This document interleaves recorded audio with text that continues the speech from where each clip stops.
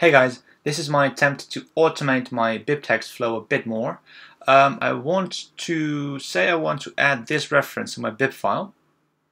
Then I copy paste the reference and then I type python get bib.py and in between quotes I add the reference. Now it says nothing but if we look at test2. Uh, if we take a look at the text map we see test2 which actually has all the uh, references in it. Alright, so the last one is Harry's. Let's add another one.